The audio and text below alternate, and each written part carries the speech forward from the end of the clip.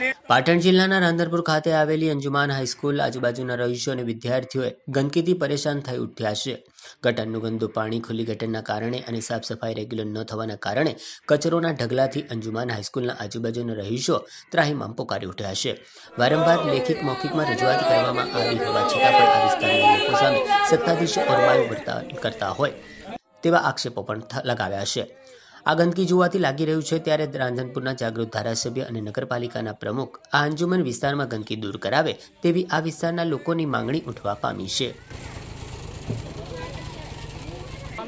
સાજીદ હુસેન કાદરભાઈ સૈયદના વિસ્તાર અંજુમનથી લઈને અંસાઈ પીનો વચનો. શું સમસ્યા છે આ વિસ્તાર સમસ્યામાં એવું છે સાહેબ કે આમાં ગંદકી બહુ થાય છે અવારનવાર પાણી આવે છે બહાર પાણી નીકળે છે અને કોઈ પણ ધ્યાન દેતું નથી. નગરપાલિકામાં બહુ અરજીઓ આલી ઘણી બધું અરજીઓ આલી પણ કોઈ કાંઈ કામકાજ કરતું નથી. તો શું માગણીઓ છે? માંગણીઓ અમારી એવી છે કે અવારનવાર જે પાણી નીકળે છે એ પાણી તમે બંધ કરાવો અને અમારી જેટલી પણ માંગણીઓ છે એ પૂરી કરી અને ગટરનું કામ કરાવો. કોઈ આગળ રજૂઆતો કરેલી?